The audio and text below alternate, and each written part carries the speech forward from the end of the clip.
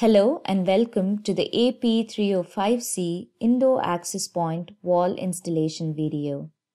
The AP305C access point is part of Extreme Networks Universal Wi-Fi platform and provides the users the choice of multiple operating systems.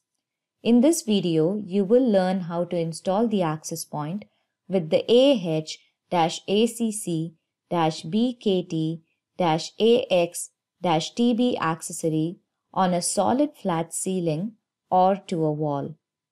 While this procedure works for all cloud access points, we are showing the AP305C access point as an example.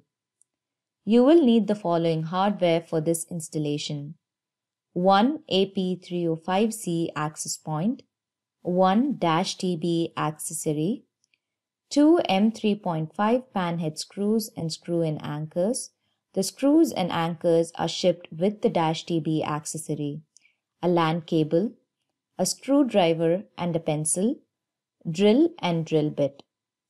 Using the Dash -TB accessory as a template, mark two mounting holes on a solid flat wall.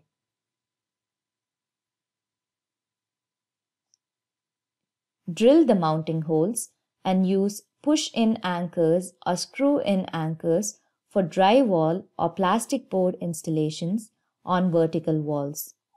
Attach the accessory to the wall using the M3.5 panhead with screws. Screw-in anchors must be used for ceiling installations. Align the red dot on the accessory against the red dot on the AP. The center protrusion on the accessory will go into the center recess on the back of the AP.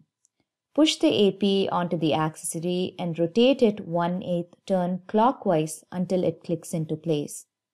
Attach the LAN cable into the ETH0 port on the access point.